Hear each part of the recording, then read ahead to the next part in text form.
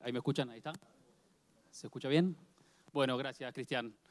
Bueno, buenas tardes, ¿cómo están todos? Eh, como me presentó Cristian, Lucas Olcés es mi nombre, soy director gastronómico de un espacio en Mendoza llamado Russell Boer Lodge. Es un lodge el cual tiene una bodega en Luján de Cuyo, eh, Mendoza. Así que en este ratito tengo dos desafíos muy grandes que son no aburrirlos y enamorarlos de Mendoza y de la Argentina. ¿no? Eh, espero que lo podremos lograr en unos, en unos minutos. Russell Boer Lodge es un espacio en el cual los dueños son argentinos, apuestan a, un sector y a un producto en el cual lo primero que se valora es la parte humana, como hoy lo escuché más temprano con, varias de las, de las entidades que han hecho la presentación. Eso incluye que mm, siempre se, basa en los pilares fundamentales de las relaciones humanas. ¿no? Esta bodega se encuentra en Luján de Cuyo, es a 20 minutos de la capital de Mendoza. Ahí hacemos toda la producción vitivinícola, se produce el vino, se elabora el vino y en una bodega amiga cerca. Y el lodge está en Alto Agrelo, mismo departamento, es Luján de Cuyo, dentro de la provincia de Mendoza, ¿no? en Argentina. Eh, este lodge nosotros hace unos tres meses atrás nos presentamos dentro de lo que es las Great Wine Capitals en la división de restaurante. Nos presentamos como producto restaurante dentro de bodega. Esto se hizo una um, premiación en el cual ganamos el oro dentro de lo que es Mendoza, compitiendo con todos pares y amigos, gente nuestra. Y lo que obviamente después hicimos fue todos los oros a nivel mundial, competir en eh, Francia, donde fue la sede de este año, en Bordeaux, y donde ahí obtuvimos la categoría oro mundial, con lo cual eh, el espacio en el cual yo hoy vengo en representación, tengo un equipo gigantesco atrás, hay un montón de gente trabajando que hoy están en este momento. Seguramente el restaurante debe estar con actividad y debe estar atendiendo a, gente, a huéspedes, amigos, eh, el oro a nivel mundial, con lo cual hoy quedó como mejor restaurante de bodega del mundo. Eh, es un gran privilegio. Gracias. Gracias. Es un privilegio eh, y es un honor gigantesco y una gran responsabilidad poder comunicar, poder comunicar no solo el espacio en el cual estamos representando, el cual vengo a hablar hoy acá, sino que es algo muchísimo más grande, que es Luján de Cuyo como región, como es Mendoza y como es la Argentina. Eh, tenemos un video en el cual hemos hecho un mini resumen para que tengan noción dónde está. Es un lugar que está, como les dije, a 35 minutos de la ciudad, en un lugar que está entre medio de eh, viñedos. Eh, son aproximadamente 45 hectáreas, la gran mayoría en un 80% plantado, con diferentes eh, uvas como Pinot Noir, Cabernet Sauvignon, Cabernet Franc, Malbec, Merlot. Hay varias, varias uvas. Nuestros productos más fuertes en gran parte son la línea de espumosos, en el cual tenemos marcas que denominan Casa Boer y Russell Boer. Y justamente eso es lo que, lo que estamos comunicando. Podemos ver el video para que sepan más o menos de qué estamos hablando y con eso seguimos.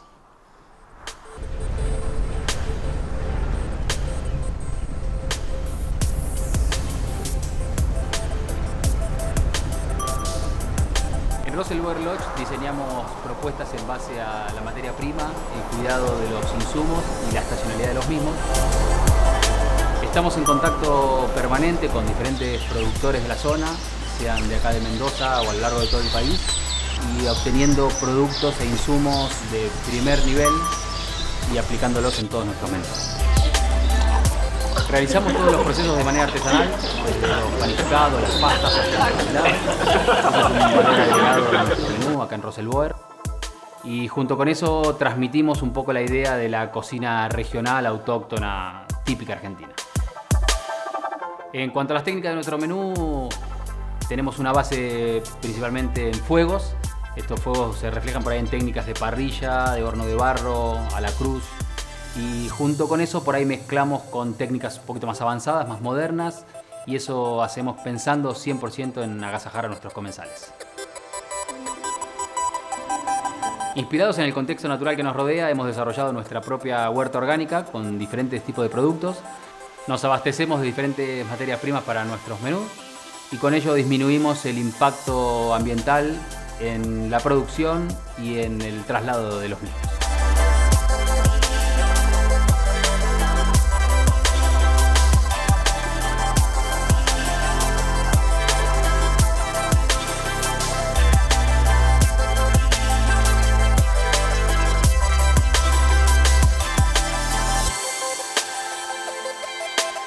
En cada propuesta que ofrecemos de no turismo, buscamos transmitir la excelencia y la trayectoria de Roselboy.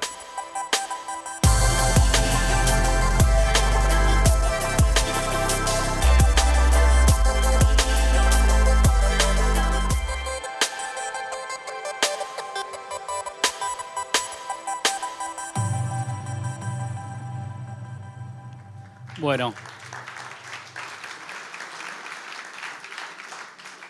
Están absolutamente todos invitados, esperemos que, puedan conocer el lugar, es un hermoso lugar, la verdad que tiene mucha similitud con, esta región, eh, es muy bonito. Y bueno, justamente lo que nosotros tratamos hoy de promocionar, no solo en el Lodge, sino que a nivel Mendoza y a nivel enoturismo, es eh, transmitir experiencias. ¿no? Hoy todo lo que es eh, la parte de extranjeros, nosotros, Mendoza, si sabrán, estamos conectados con unos, varias empresas de aéreas eh, tanto la TAM como Gol, eh, como Copa. Eh, tenemos vuelos obviamente a San Pablo, tenemos a, mm, Panamá, a Lima. Gracias. esto hace que tengamos una afluente de público muy grande, en, mayoría obviamente que es brasilero en la, actualidad. vienen obviamente gente de Chile también, de Paraguay, de Perú, de Uruguay. Bueno, es muy diverso. A lo que voy es que este, el promedio hoy aproximadamente son de cuatro noches en, estancia de Mendoza. Eh, esto lo que hace es tener la posibilidad de nosotros, con colegas y amigos, de poder ofrecer muchísimas de estas experiencias. Las experiencias enogastroturísticas, como le podemos llamar, abarcan una gran posibilidad y un gran abanico. Mendoza tiene muchísimo respecto a rafting, a cabalgata, eh, está la concagua. Eh, todo esto siempre está relacionado al vino lo que nosotros tratamos de buscar es que el extranjero, con la calidez que nos caracteriza al latinoamericano, es brindarle esa, cercanía y poder realmente brindarle una experiencia de confort, eh, de contención, y eso hace al distintivo, ¿no? Esto que denominamos experiencia, la gente no solo viene a buscar un rico vino, una rica comida, sino lo que está buscando es toda esa atención por detrás. Yo creo que nosotros, hablo por la TAM en general, eh, tenemos por ahí esa cercanía, esa calidez, y eso que es de manera natural para nosotros, eh, en el extranjero llama mucho la atención. Estos espacios, obviamente que mm, el pilar fundamental son las carnes, nosotros manejamos mucho lo que es el tema de carnes, los costillares, eh, el chivito, el chivito, por ejemplo, hubo una imagen en un momento, no sé si notaron, de una pequeña croqueta, es una croqueta de chivo, una croqueta en la cual los chivos en esta época o hace unos meses atrás suben la montaña en la zona sur de, Mendoza, es la transhumancia, que lo que hacen es, tiene un aspecto cultural muy importante, hay familias que trasladan eh, a los chivos hacia arriba, hacia, hacia las aguas de vertiente, de deshielo y los pastos nuevos, los pastizales nuevos para poder engordar. Y obviamente todo ese engorde de esos animales hacen que después puedan bajar en enero o en febrero para transformarse en esos 4 centímetros de croqueta, que es una preciosura, y que está dentro de nuestro, dentro de nuestro menú. Eh, Obviamente que hay también para veganos, tenemos huerta para todos, por las dudas, por las dudas. Eh, la carne está en nuestro ADN, ¿no? es imposible. Eh, les cuento una, experiencia cuando hacemos, obviamente, eh, unas noches de fogón o, unas noches en el cual promovemos menú argentino o mendocino y muchas veces lo vimos en carne propia, vienen restricciones alimenticias y en gran parte vegetarianos y veganos, y en el cual realmente es casi imposible hacer un menú argentino sin que haya carne, evitando la carne. Tenemos las empanadas, tenemos las mollejas, tenemos los chorizos, las morcillas, los cortes de carne y realmente es complicado. A raíz de eso hemos desarrollado un, gran espacio que es todo un tema de huerta, eh, las huertas orgánicas, tenemos obviamente mm, eh, diferentes cultivos de huerta que hacen que podamos abastecernos en el menú. Eh, hay acá varios videos atrás que representan lo que es Mendoza, la pesca es uno de ellos, es muy diverso. Lo que sí es importante para ir sobre el tema de lo que siempre hablamos es que sea enogastroturístico, o sea, siempre las experiencias y los, los momentos están compartidos de, y, se le dedica un, tiempo muy importante a las charlas, al escuchar de dónde, de dónde proviene la gente, al compartir, obviamente que el vino eh, une, el vino comparte y es justamente lo que nosotros pregonamos y queremos que se hagan. Eh, junto con eso abrimos un poco el abanico. Nosotros, Mendoza hoy es el segundo destino en la Argentina por detrás de Buenos Aires en, receptivo de, turistas. Esto como dije hace un segundito, eh, es una responsabilidad gigante la, gente que nos viene a visitar y muchas veces nos pasa que visitan Mendoza sin conocer el resto del país. O sea, Argentina tiene muchísimos rincones, eh, la Patagonia es un lugar muy fuerte, las cataratas es un lugar muy fuerte, Salta en el norte es un lugar muy fuerte de, turismo, pero nosotros tenemos la responsabilidad como Mendoza en gran parte de darles a conocer un menú, un abanico de posibilidades de la Argentina. Por ahí son, como les dije, tres, cuatro días de, corto en, en, estadía, pero en ese tiempo tenemos que tratar de lograr cautivar a la gente, mostrar cuál es la esencia de la Argentina, del sudamericano, eh, de los fuegos, de la comida, de la bebida. Nosotros dentro de las experiencias tenemos diferentes tipos de menú, nosotros manejamos menús de maridaje. Eh, es muy común encontrar hoy en Mendoza opciones en casi la gran mayoría de bodegas. Las alternativas en cuanto a menú maridaje son muchísimas e infinitas. Eh, esto por ahí hace unos años no, no sucedía, era, era completamente al revés. En Mendoza uno llegaba y visitaba bodegas y la bodega era, o el restaurante de la bodega, un lugar como apartado, escondido, era prácticamente para un comercio, para mercado interno, para alguna actividad propia de bodega. Hoy eso se ha invertido 100% y prácticamente todas las bodegas ofrecen una posibilidad de visita con diferentes experiencias, desde museos de sensoriales, desde experiencias de degustaciones en diferentes locaciones dentro de la bodega. Eh, y eso hace a esto que estamos hablando de una experiencia. ¿no? ya, no, ya no vendemos un almuerzo, ya no vendemos una degustación, sino lo que queremos es que sea realmente una experiencia. Los horarios lo vivimos en, los espacios. Nosotros ahora hace un ratito estuvimos eh, invitados acá muy cerquita en, Apalta, en un restaurante donde tenemos gente amiga, eh, que compartimos amigos en Mendoza también. Y justamente lo que uno hace cuando llega a esos lugares es se entrega al lugar, eh, vive una experiencia, quiere quedarse, se relaja y justamente eso es lo que hace la diferencia. ¿no? O sea, deja de ser una comida rica o un vino rico a terminar transformándose en un espacio, un entorno y que las relaciones en el cual hemos compartido una mesa sean obviamente eh, outstanding, ¿no? sobresalientes, que realmente sea algo distintivo. Nosotros nos encanta que nos pase eso. Tenemos atrás una gran provincia para, para dar a, conocer. Eh, como les decía, dentro de nuestras alternativas propiamente en Russell Lodge, lo que hacemos son menú de maridajes. O menú de maridajes hay diferentes opciones. Eh, es muy común los productos de espumosos, hay una línea de espumosos en el cual van a poder en algún momento degustar, eh, y es pasos que van cambiando a medida que va cambiando el mercado, a medida que va cambiando los insumos, hacemos un menú que se va adecuando a los productos de, los espumosos. Otro es con toda la línea de vinos, vinos blancos y vinos tintos, y lo que nosotros hacemos como eh, distintivo para transformar esta experiencia es que una vez que recibimos a nuestro comensal, a nuestro huésped, es que pueda vivir la gastronomía en diferentes situaciones. Entonces, parte de esos 3, 4 días que yo le digo de promedio que tienen en Mendoza o dentro de nuestro lugar, en nuestro espacio, nosotros lo que hacemos es, si han más o menos visto el video, después cualquier cosa lo repetimos, es eh, haber eh, consumido una empanada, una picadita dentro de una cava subterránea donde tenemos vinos especiales. Entonces la gente tiene un, momento íntimo y como de bodega y interno. Después va al restaurante donde tiene unos ventanales gigantescos como a la precordillera, que es hermoso. Después hacemos degustaciones en, entre medio de los parrales. Hay un sector de parrales donde hay una parrilla, entonces una de sus noches consume parrilla, consume fuegos. Eh, promovemos que esa experiencia se transforme en participativa. Eh, yo tengo gente y lo que más me gusta que, que nuestros huéspedes y que terminan siendo familia eh, se interesen por cómo se transforma o cómo se elabora un pan de masa madre. Nos consultan qué es la masa madre, cómo es, y automáticamente nuestra respuesta, la de todo mi equipo, es, ¿te gustaría saberlo? ¿Querés conocer? ¿Querés la receta? ¿Querés probarlo? Y bueno, más de una vez entran los huéspedes a, a la cocina, en un rincón especial, y se amasan los panes. Entonces, todo eso por ahí para algunos resultará sencillo, simple o común, pero una persona que viene de lejos y que amasa un pan en el fin del mundo, eh, rodeado de viñedos, tomándose un vino, es algo que se lo va a olvidar, no se lo va a olvidar nunca más, ¿no? Es una, experiencia para toda la vida. Hacia eso es donde nosotros vamos y ese es nuestro fin, ¿no? Tratar de que la gente se enamore del espacio, se enamore del entorno y que genere una experiencia para toda la vida. Em, parece fácil, ¿no? Acá tengo, como les dije, no quiero dejar de volver a mencionar para que quede registrado, ¿no? Lo está tomando que tengo un montón de gente que está trabajando atrás, eh, porque obviamente esto es una cadena, es, es muy fácil venir y yo charlar 15, 20 minutos con ustedes y tratar de contar un premio, etcétera, pero hay un sacrificio muy grande, la gastronomía requiere mucho sacrificio. Eh, dentro de esos sacrificios mm, es imposible dejar de mencionar los productores, ¿no? O sea, los productores, por lo general pequeños, hacen la diferencia también dentro de una carta o dentro de un producto, que son pequeñas familias, pequeños emprendedores.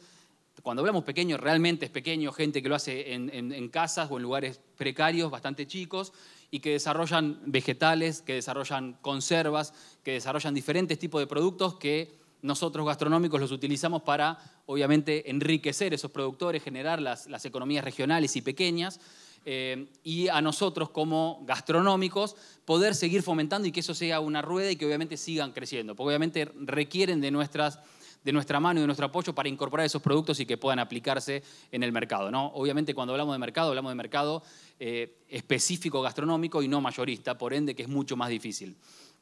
Nosotros, em, dentro de lo que es, dentro de lo que es em, Mendoza, las experiencias que nosotros brindamos o que tratamos de, de hacer, es que em, esas horas que nosotros destinamos estén involucrados todos los aspectos. ¿no? Cuando hablamos de todos los aspectos, siempre está relacionado las, las experiencias ociosas, hay, hay, muchas actividades que nosotros ahí lo estábamos viendo, que es, eh, no sé, las cabalgatas, que son las salidas de pesca, eh, que son el rafting, y todo, absolutamente todo, termina un círculo en la gastronomía y la bebida.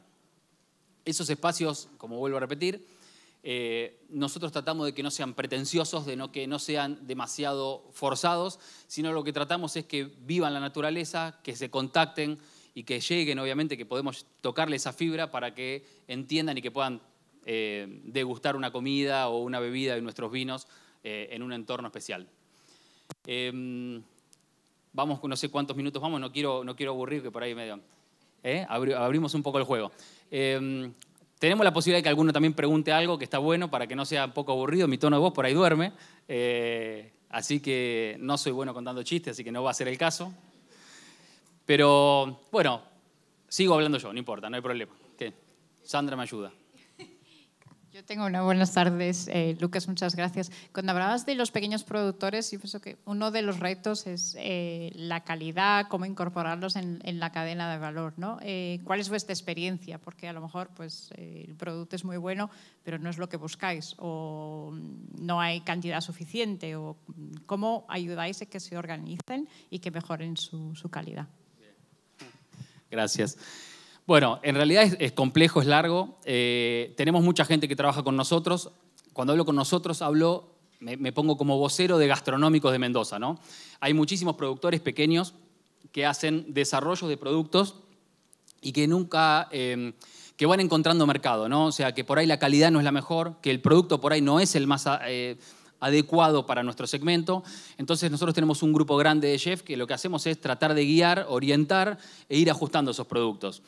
La verdad que em, dentro de las economías de Mendoza a nivel macro, eh, toda la parte agrícola es muy fuerte. Eh, Mendoza desarrolla una gran cantidad de productos de tierra, es muy fuerte en muchísimos aspectos, en los ajos, en, las papas, en los tubérculos, en cereales, en frutas de carozo, en frutas disecadas. Realmente la provincia es muy fuerte, muy fuerte en elaboración de productos. Y dentro de todos esos productos es justamente donde nosotros podemos ir adaptando y podemos ir acomodando esos, esos perfiles para que sean más redituales y más óptimos para nosotros. ¿no? Eso es un poquito lo que, lo que nosotros hacemos. Se han dado casos experimentales, porque también dentro de nuestros viajes y nuestro conocimiento nuestro intercambio con otra gente, lo que hacemos es por ahí traer semillas, traer otro tipo de cosas y adaptarlos y que sean criollos o adaptados en estas zonas, y por ahí terminan siendo productos en, algunos casos superior a los, que, a de su origen. ¿no? Hay varios casos de hierbas o de vegetales que se adaptan mejor al clima mendocino y que terminan siendo por ahí menos fibrosos o menos acuosos que otros productos de origen y que terminan siendo un gran producto en el cual dentro de estos productores pequeños que hemos desarrollado terminan siendo proveedores desde Mendoza a restaurantes o a locales de Buenos Aires, en capital.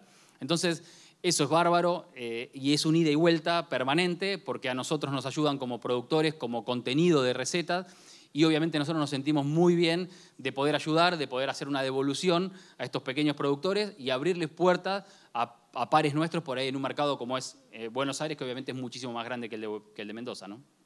Ese es el caso. Eh, la gente que recién allá, los clientes, la gente que viene fuera, fuera de Argentina, eh, ¿se ve alguna tendencia o algo de interés o, que ellos pidan vinos orgánicos, espumantes orgánicos o incluso, no sé, parte de la alimentación que sean productos orgánicos? Sí, la verdad que sí.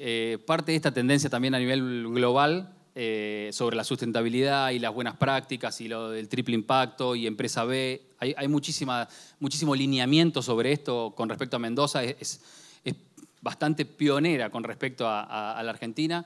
Eh, yo creo que también debido al turismo y debido a este, este empuje. Y los procesos orgánicos cada vez son más. Eh, hay muchísimos viñedos certificados orgánicos, hay líneas de vinos certificados orgánicos, el extranjero lo pide, el mercado se amplía, cada vez hay más desarrollos y más lanzamientos.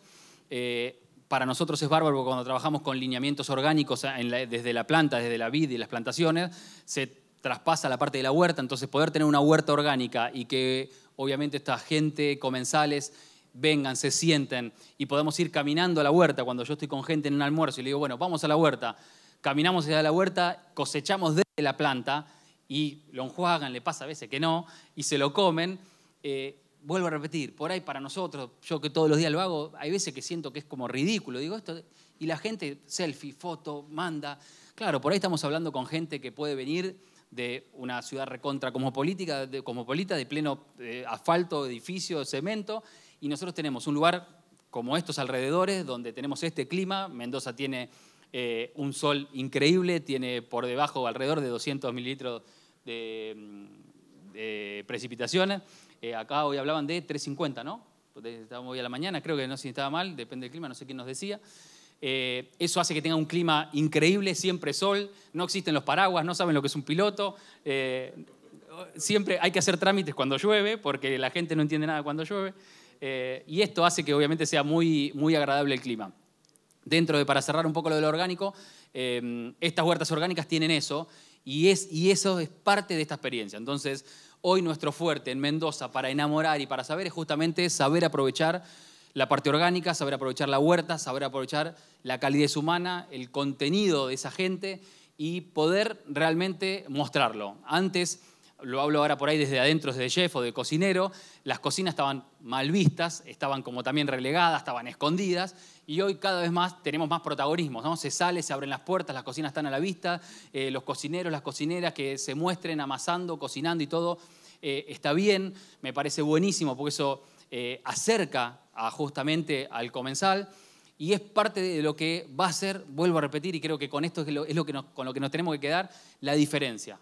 Hay mucha gente con otros hábitos, con otras culturas, con otras costumbres, y que simplemente por el hecho de, en vez de darle la mano, darle un beso, eh, ya empieza a cambiar todo. Entonces, yo recibo gente donde hacemos cooking class, y obviamente muchas veces extranjeros, muchas veces americanos, muchas veces europeos, incluso asiáticos, y obviamente yo los recibo y a veces me dicen, veo que saludan desde lejos cuando están entrando en turismo con la mano. Yo lo primero que hago es el abrazo y le doy un beso. ¿cómo le voy a dar la mano? Si nosotros damos un beso, ¿por qué le voy a dar la mano? Bueno, no, no iremos muy fino porque hay cosas que por ahí no se malinterpretan, se siente por ahí medio mal, incómodo, pero es nuestra esencia, no podemos renegar de lo que somos, por lo menos yo no, no, no soy así. Eh, y comunico eso y mi clase de cocina, un espacio es para que la pasen bien, para compartir y que la gente se lleve eso. O sea, yo creo que una empanada, un ojo de bife, una carne o lo que fuese asado va a terminar siendo el cuarto comentario dentro de la experiencia. La experiencia va a ser, no, tuvimos un lugar increíble, hermoso, y, va a ser un todo lo que justamente va a hacer la diferencia y va a eh, permanecer en el recuerdo y va a ser la experiencia. Es, una, es algo que nosotros lo vamos a, pregonar permanentemente y lo que queremos hacer.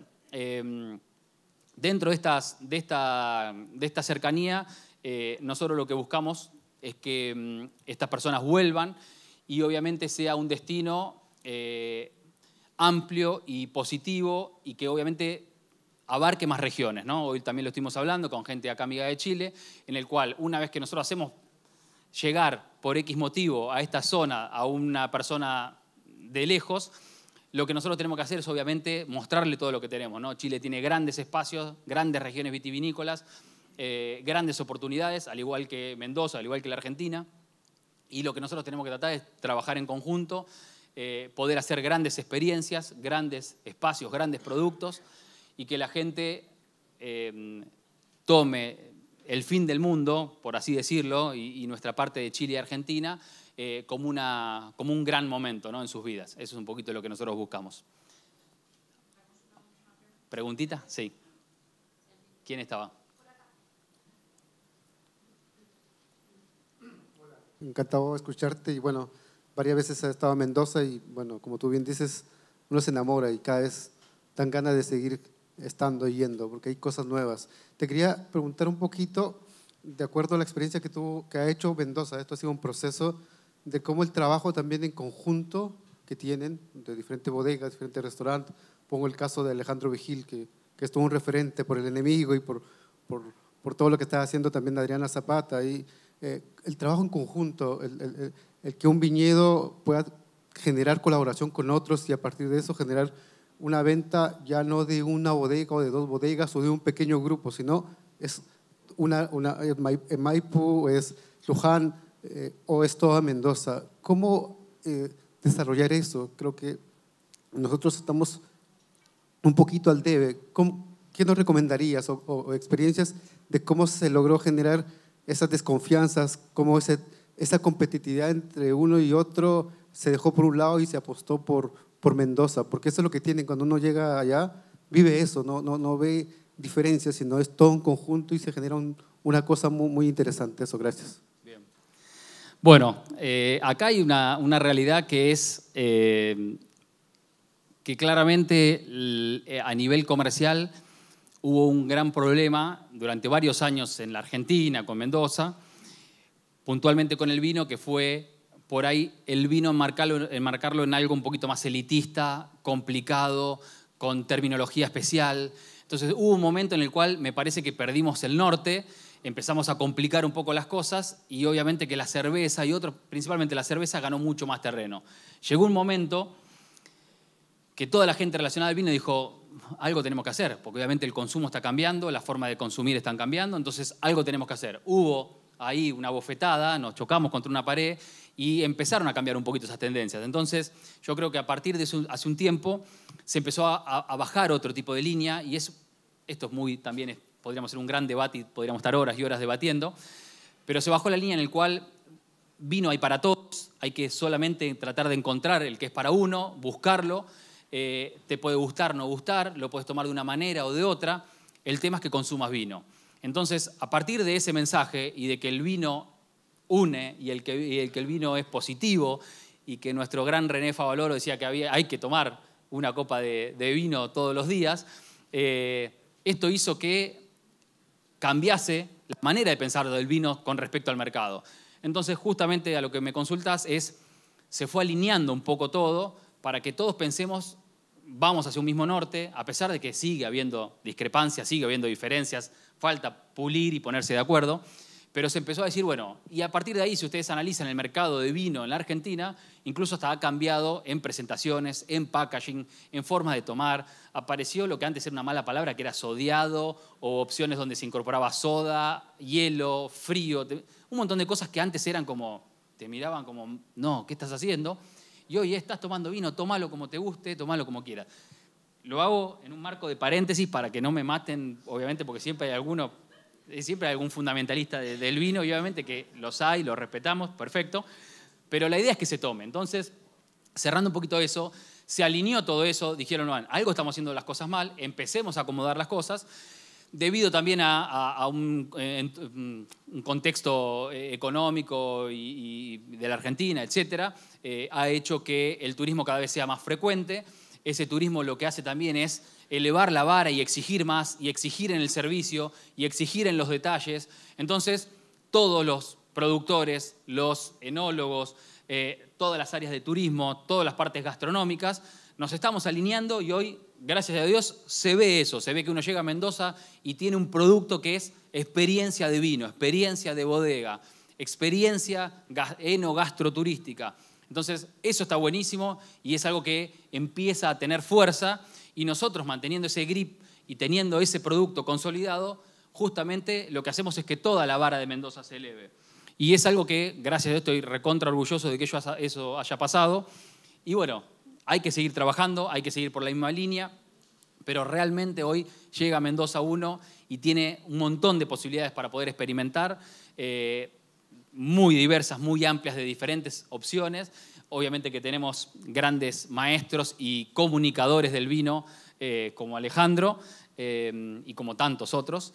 Y justamente lo que nosotros tratamos de lograr es que eso se consolide, que tenga un sustento, que sea muy fuerte, que sea compacto y que obviamente, vuelvo a repetir y cansarlo, que van a soñar con la palabra experiencia y momentos, pero queremos lograr eso. O sea, queremos que realmente sea de esa manera. Ah, que quería, eh, todo lo que vos dijiste, sumar algo, y eso es experiencia totalmente propia de haber trabajado en bodegas y con el sector, es que el municipio tiene muchísimo que ver. Y hubieron varios años, casi tres seguidos, este año no sé si se sigue haciendo, alguien me corregirá, que eh, desde el municipio, eh, en la época baja, normalmente era mayo y junio, se armaban circuitos para que toda la gente que trabajaba en bodega conociera las otras bodegas. Y lo armamos entre nosotros. Entonces es, a ver, escúchame, tenés que salir, vos sos un guía que estás en bodega y no conoces al vecino, es imposible que no lo conozcas. Tenés que salir. Entonces nos armábamos y era todos los miércoles, visitábamos dos bodegas y la, la, última hacíamos una vaquita, comprábamos unas empanadas para tampoco poner en gasto a la bodega ni al sector. Y entre todos conocimos muchísimo. Y así después otro municipio y así después otro. Y era, che, esperemos a mayo, salgamos a conocer. ¿Por qué? Porque si no llegaba el fin de semana y estabas cansado y decías, ay, tengo que dedicarle encima el sábado y el domingo a conocer bodega, y te la pasabas hasta las 6 de la tarde en la bodega y no querías más. Entonces, si no salís y conocer, y eso lo que generó fue que llegaba el turista y decía, ¿qué, qué, qué vas a hacer después? Ay, no sé, ¿qué me recomendás? Mira, taca, taca, taca, taca, taca, taca, una lista, todo chat, acá, esto, lo otro, no, no, puedes ver esto, no, pero ¿viste tal vino? ¿Qué te gustó? Bueno, ahora anda a ver aquel, visítalo, da, y te hacían la reserva ahí, pero porque lo conoces. Entonces, sí o sí, se tienen que conocer. Sí o sí, es la base. Y de ahí, estrechar los lazos. Gracias por el aporte. Realmente eso, lo que está comentando, creo que es clave y lo doy también haciendo una experiencia propia de nosotros, que es justamente conocer nuestros productos, ¿no? conocer el producto. Para como justamente nosotros poder vender estas experiencias, nuestro personal las debe vivir. Entonces no quiero dejar pasar eso, que justamente lo que vos estás diciendo, que es clave, que lo hacemos entre otras bodegas y tenemos esa relación, pasándonos reservas, contactos, sugerencias, haciendo actividades en conjunto exposiciones, eh, pop-ups, reuniones de chef, eh, reuniones de productores, viajes a diferentes zonas de productores, todo eso se fomenta y a nivel interno es clave, o por lo menos yo trato de hacerlo permanentemente, que nuestro personal, nuestro equipo, haga la misma vivencia que va a hacer el eh, huésped o la persona que nos visita. Entonces, debe vivir esa experiencia, debe sentirla, debe, debe palparla, debe conocerla, porque obviamente a la hora de la venta y a la hora de transmitir eso, claramente, no, no, no hay duda en esto, que una vez habiéndolo vivido, la, poder, poder comunicarlo y poder expresarlo tiene otro, otra sensibilidad. ¿no? Entonces eso es, es bárbaro poder hacerlo y, realmente es muy enriquecedor para, para todas las partes. ¿Estamos bien en, tiempo? Muy bien, muchísimas gracias. Queremos agradecer a Julio un aplauso, por favor.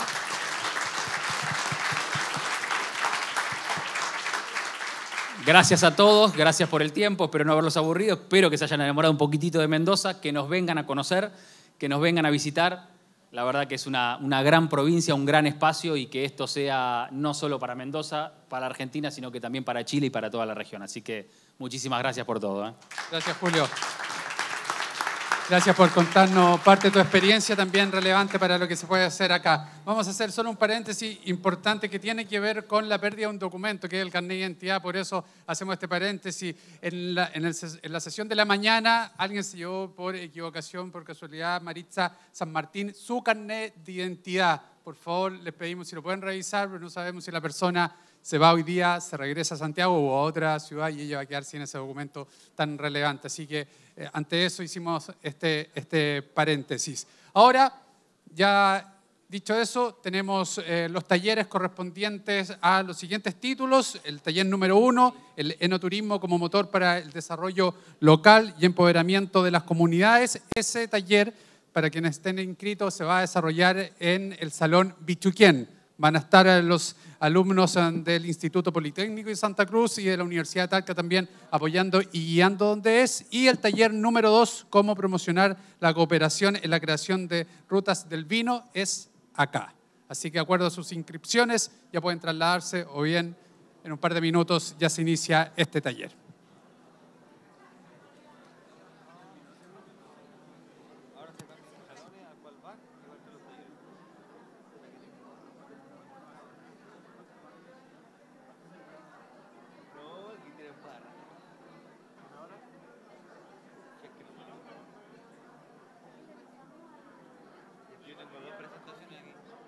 Acá en este salón, el que estamos viendo, son las rutas turísticas del vino y vamos, vamos a dar algún enfoque en cómo promocionar la creación, pero también de ahí vamos a sacar varios otros temas que hemos ido ya conversando. Eh, vamos, la idea es ver de repente algunos casos de éxito respecto a las rutas del vino, eh, cómo se puede innovar también de repente en, en algunas acciones en la ruta, temas de financiamiento que siempre faltan lucas por el tema de las rutas. Eh, aprovecho de presentarme, bueno, yo soy Jaime Valderrama, eh, invitado acá a, ayudar en, este gran evento. Eh, soy gerente general de Miguel Torres Chile, ya hace 10 años, y además soy presidente de la Ruta del Vino Curicó. y invitamos entonces, partimos, ¿no? A nuestros panelistas, para poder bueno, adelante. Entonces voy a hacer la introducción de don Pedro Vargas, con que ya estuvimos conversando ayer para interiorizarme en su currículum, pero acá lo voy a leer. Él es eh, director de proyectos internacionales de Foro de Marcas Renombradas Españolas, eh, licenciado de Derecho de la Universidad de Sevilla, máster en Gestión Internacional de Empresas del Instituto Español de Comercio Exterior, ISEX, máster en Derecho Internacional eh, comparado con de, por la Winter Law School de California y graduado en estudios políticos europeos por el Instituto de Estudios eh, Políticos de Hamburgo. O sea, una persona de peso. Así que... No solo por la barriga. Sí, sí, sí, sí. Así que, bueno, mucha experiencia y, invitamos también a Alicia Ortiz, que tengo su, su currículum acá, su CV. Como ahora todo es digital. Bueno, Alicia Alicia Ortiz, ingeniero agrónomo de la Universidad Mayor, convención en agronegocios. Eh, durante los últimos 20 años eh, se ha desempeñado en varias áreas de la industria del turismo, en distintos cargos, tanto en la administración pública eh, como consultora especializada en el sector. Y desde enero del 2018, muy importante, es gerente de Enoturismo Chile, donde nosotros también como ruta del vino Curicó somos, somos parte de esto. Así que ellos son los, nuestros invitados. Eh, cada uno va a exponer, va a hablar un poco, eh, tienen, tienen presentación, 15 minutos, pero la idea es que lo hagamos un poco más interactivo y eh, conversemos, resolvamos dudas, de repente incluso aquí salen ideas para ayudar a innovar a las rutas del vino. Así que lo vamos a hacer un poquito más interactivo. Eh, y parte Pedro, entonces, no sé si está la, presentación, ¿la tendrán? me la cargáis, por favor, mientras me la, me la van cargando. Bueno, muchas gracias por la presentación. ¿Se escucha bien o no? ¿Escuchan todos bien? ¿Sí? Si quieres que eh, sí, me puedo, me puedo, levantar si queréis. Muchas gracias a los que habéis quedado a aguantarme. Eh, prometo que yo voy a intentar cumplir el tiempo y de hecho hasta si puedo voy a ser más breve. Eh, bueno, mi idea ahora voy a empezar, creo que es lo que lo voy a enfocar, porque creo que lo más importante cuando hablamos de crear rutas turísticas es que estamos hablando de colaboración, de cooperación y de crear marcas, porque al final, cuando hablamos de una ruta, una marca, en las sesiones de esta mañana se hablaba eso, de la importancia del destino, el destino no deja de ser una marca, al igual que las marcas de las bodegas, de los vinos, los destinos son marcas. Entonces voy a empezar hablando un poco de dónde vengo, del Foro de Marcas Renombradas Españolas, porque es una institución que tiene bastante que ver con esto de lo que vamos a hablar. Lo voy a ir aterrizando hacia un proyecto concreto eh, relacionado con el turismo y para luego ver algunos casos prácticos de, aplicaciones que podría tener. Cualquier duda que tengáis, me interrumpís cuando queráis, porque la idea, como decíamos, es que esto sea un poquito interactivo. El Foro de Marca Renombrada Española es una alianza estratégica entre administraciones y empresas, las marcas líderes españolas. A ver cómo cambia esto las principales marcas de España en distintos sectores, tanto del vino como de, otros sectores, el Real Madrid o el Barcelona, el Banco Santander, Telefónica, etcétera, que se unen a las administraciones públicas al Ministerio de Asuntos Exteriores, a Industria, Turismo, Comercio, etcétera, para generar sinergia entre sí mismas, para colaborar, para crear una mejor y más fuerte imagen país y potenciar la internacionalización de la empresa española y de sus marcas. Entonces, en esa línea de proyecto, en esa importancia de colaborar entre los líderes, entre los mejores, pues vamos desarrollando distintos proyectos. Eh, queremos crear imagen país, apoyada desde el punto de vista económico y comercial, pero no solo eso, sino que también nos queremos apoyar en la excelencia de las personas, de los españoles por el mundo. Entonces reconocemos también los embajadores honorarios de la marca España, gente como Rafael Nadal, eh, Pau Gasol, Pedro Almodóvar, etcétera, que también son otro elemento que va prestigiando a España por el mundo. Y no solo están los propios españoles, sino que también hay mucha gente en otros países de otras nacionalidades que quieren a nuestro país, que hablan bien de nuestro país y contribuyen a crear una buena imagen de nuestro país. Entonces, por eso hemos reconocido en distintas ciudades del mundo a aquellos amigos de la marca España, pues desde Japón hasta México, y espero que pronto lo podamos hacer también en, Chile, que sé que tenemos buenos, buenos grandes amigos. Todo esto te da una imagen de una estructura, al final, de mucha alianza, de muchas posibilidades, desde bancos a equipos de fútbol, a personalidades, a administraciones públicas, que se pueden unir e ir generando sinergias para promocionar España, la imagen de España. Pero vamos a llevarlo a algo más concreto, ¿no? Vamos a hablar de enoturismo. Hablamos de enoturismo, tenemos un proyecto, Spain Through Wineries, que nace además de la mano de la Organización Mundial de Turismo. ¿Eh? Porque lo importante es abrirse y ver quiénes pueden ser tus aliados, quién te puede ayudar. Pues nos sentamos hace ya algunos años con la, con la Organización Mundial de Turismo y vimos que había una posibilidad de trabajar conjuntamente sobre algo muy concreto, potenciar el enoturismo español. Hicimos una alianza con quienes hemos hablado de la importancia de colaborar, pero se ha hablado también de la excelencia, se ha hablado de profesionalizar el sector, de lo importante de contar con buenos profesionales, se ha hablado de autenticidad, etcétera. Bueno, pues hemos contado con las mejores bodegas, las más profesionalizadas, las que lo mejor lo hacen, las que cuentan ya con un savoir-faire a la hora del enoturismo, y la hemos aliado y eso lo hemos añadido otro grupo de empresas, que ahora pondremos ejemplos concretos, que no son vino, pero que también tienen mucho que decir y pueden aportar cada uno desde un punto de vista diferente. ¿No hemos limitado a una sola zona? No, tampoco. Yo creo que también es otro mito que hay que romper. O sea, al turista le da igual las divisiones administrativas, le dan igual las denominaciones de origen. Cuando en España tenemos denominaciones de origen para aburrir.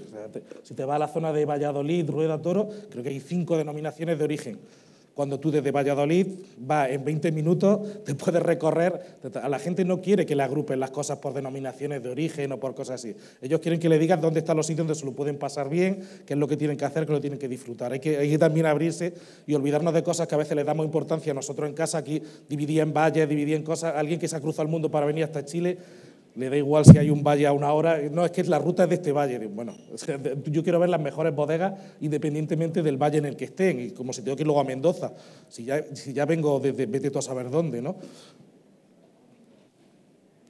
Entonces, bueno, lo que, lo que quisimos hacer con esto es decir, oye, España tiene muchísimo potencial que no estamos aprovechando, tenemos capacidad para poder ser referente, lo que tenemos es eso, que proveer de experiencia única a través de la unión de los mejores para eh, posicionarnos en el mundo y siempre siguiendo los valores de la Organización Mundial de Turismo de sostenibilidad, desestacionalización y territorialidad.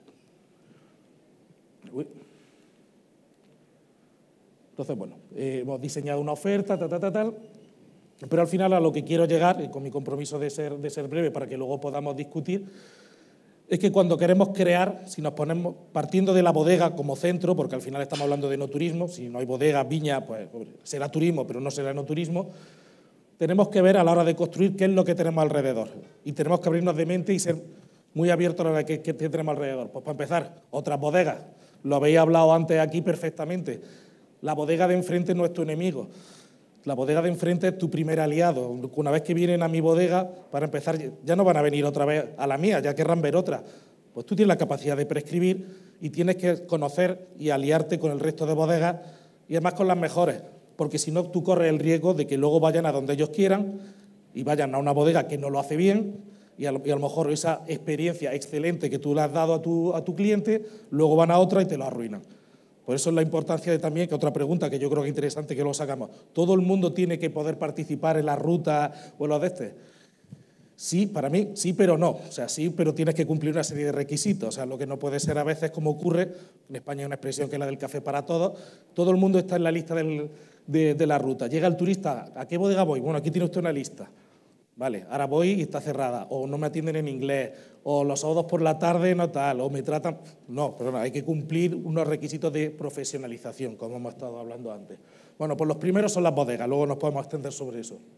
Lo siguiente, pues los recursos turísticos de la zona. La gente lenoturista tiene la costumbre de hacer más cosas que visitar bodegas. También come, duerme, esas cosas, de vez en cuando va, eh, esas cosas, esas necesidades humanas que tenemos, le gusta ir de tienda, hace muchísimas cosas. Pues tenemos que tener relación con ellos y son nuestros aliados también, tenemos que trabajar con ellos, construir con ellos. Hablamos de problemas de financiación, nos pueden ayudar también a financiar, es que hay muchas cosas que podemos hacer con el resto de partners que tenemos al lado. Y bueno, estos son dos de los primeros que son además bastante evidentes, ¿no? El resto de bodegas, el resto de recursos, los organismos públicos. ¿Qué relación tenemos con ellos? Aparte de criticarnos mutuamente, que suele pasar habitualmente, de la administración no hace nada, pues el otro, la empresa no apoya lo suficiente. Hay que generar una buena relación y ver cómo se puede apoyar. Los, eh, organismos públicos muchas veces gastan un montón de recursos en acciones que, que no se aprovechan porque no va detrás la empresa. La empresa se gasta en promociones en un sitio sin tener en cuenta que a lo mejor allí tenía una oficina de turismo o una oficina comercial pública que le puede haber ayudado. Muchas cosas se pueden construir de forma conjunta. Otro. El otro es muy amplio y os puedo poner un montón de ejemplos, pero sin más lejos, le comentaba Jaime, nosotros hemos desarrollado ahora un barómetro eh, del enoturismo para conseguir dotar a nuestras bodegas y distintos agentes, las instituciones, etcétera, de mayor inteligencia de mercado, inteligencia competitiva. Pues nos lo está financiando un banco que nos lo pone, no financiado, sino que nos pone directamente el dinero y hace el estudio, porque es un banco que está muy cercano a las bodegas, quiere ser percibido como que está cerca de sus clientes, que son empresas del mundo rural, para ello una forma de posicionamiento de marca, les dotan, les dotan de inteligencia de mercado a sus clientes, que son las bodegas, las bodegas les va mejor, crecen y se mantienen fieles al banco. Bueno, por lo mejor no lo habrías pensado, resulta que ese banco se te está liando contigo. Eh, a la hora de, hablamos de inteligencia de mercado, ¿cuánto hablamos, cuánto conoces de conocer al, de conocer al cliente? ¿Cuál es nuestra relación con las agencias de viajes, con los turoperadores, etcétera, que son los que nos están mandando al cliente y es quienes mejor lo conocen? Muchas veces no hay de verdad un diálogo entre las bodegas, los destinos y las propias agencias, especialmente las emisoras, para conocer bien y ver qué cosas se pueden hacer? Pues pensar, tenemos que pensar en todos esos otros agentes que, pueden colaborar con nosotros en distintos aspectos. Y las aplicaciones prácticas serían estas. Está, primero, crear productos. Crear, estamos hablando de crear las propias rutas, pero las rutas son eso, son un producto. Las rutas lo que no pueden ser es un catálogo. O sea, lo que, desde mi punto de vista, lo que no podemos hacer simplemente es un sitio que tú recoges en la oficina de turismo donde viene una enumeración de recursos, sino que tú tienes que haber generado productos en los que tengan un sentido. Una de las cosas en las que tiene Dios cuando hablabais, conoce las bodegas entre sí, es que tienes que conocer a tu cliente de dónde viene y a dónde va.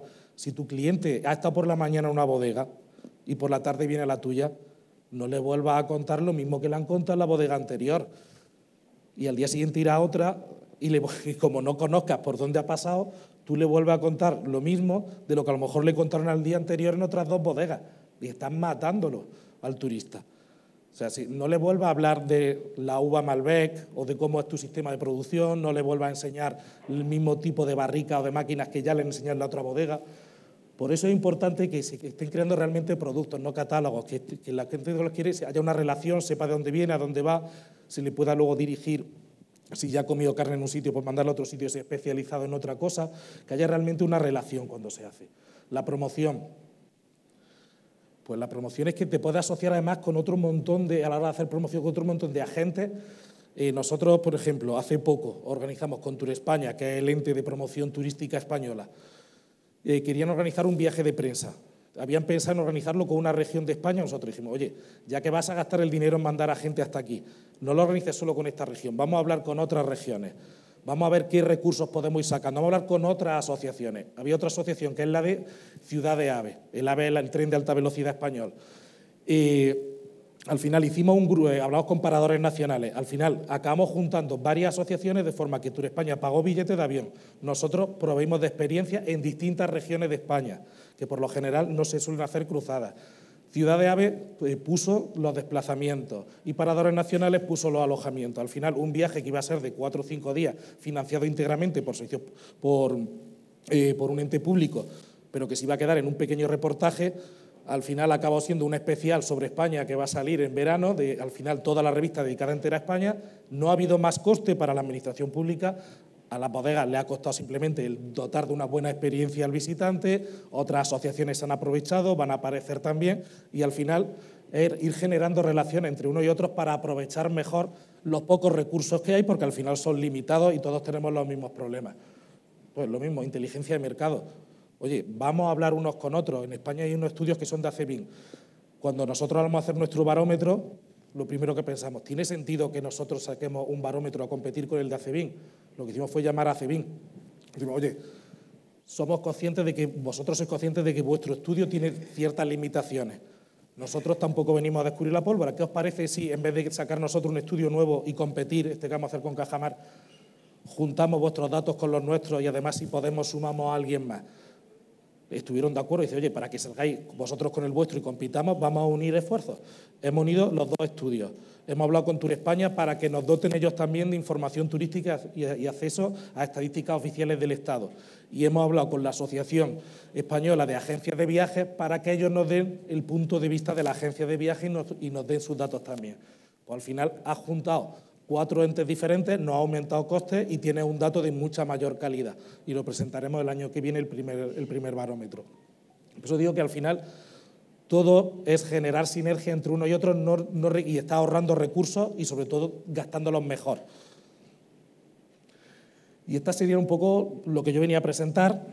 Luego venía a dar, yo me quedaría con algunas reflexiones, pues eso, que quienes somos bodegueros, otros tal, tenéis que pensar cuál es vuestra relación con las otras bodegas. Pues he puesto aquí el ejemplo, fíjate, cuando, no pasa en tantos sitios que los tengo enfrente y no conozco su bodega, no sé exactamente lo que hacen, nunca hago cosas conjuntamente con ellos. Participo de forma activa en asociaciones, porque una cosa es, estoy inscrito porque hay que estar, porque está todo el mundo, pero otra cosa es, de verdad luego participo activamente, me preocupo de verdad de generar esa sinergia con los agentes turísticos. Pues aquí tenemos un ejemplo de agente turístico. Luego, de verdad, esto, intento estar enterado de qué es lo que están organizando. Organizan viajes, organizan talleres para formarme y aprovechar los, recursos que se están gastando e intentar sumarme el, resto de agentes, como decía también, pues son los paradores, las ciudades AVE, pues, pues, todos los países, en todas las regiones, hay asociaciones, hay agencias que están haciendo cosas de las que me puedo aprovechar. Y luego, estoy dispuesto yo a ser generoso también y a compartir mis datos, porque claro, todo esto está muy bien cuando dices, ah, a ver qué hace el otro y yo me sumo. Pero esto es un viaje de ida y vuelta. Esto es, oye, quiero inteligencia de mercado, está fenomenal, porque además hoy se hablaba mucho de que hay que poder medir, que hay que ser capaces de medir, es fundamental. Pero claro, luego si yo mido y me lo quedo para mí, me estoy quedando una cosa muy parcial al final. O sea, es mejor si luego todos somos capaces de sumar esos datos, agregarlos y tener una inteligencia compartida para todos, porque al final volvemos a lo que estábamos empezando. Lo importante es posicionar el destino. Para Chile, el rival no es Chile. Para Chile el rival en todo caso podrá ser Mendoza e incluso puede llegar a serlo. Para España el rival no es la comunidad autónoma de al lado ni es la bodega de enfrente. Yo te estaré compitiendo con Italia, estaré compitiendo con Francia, incluso más allá, con hacia un cliente americano igual estoy compitiendo con Sudáfrica o estoy compitiendo con Mendoza. Entonces, con los de al lado yo lo que tengo que hacer es colaborar. Entonces, yo creo que estas son las claves que yo quería dejar ahí a la hora de crear una ruta. Hay que pensar todo esto, ser abierto de mente e intentar generar todas las sinergias posibles. Muchas gracias.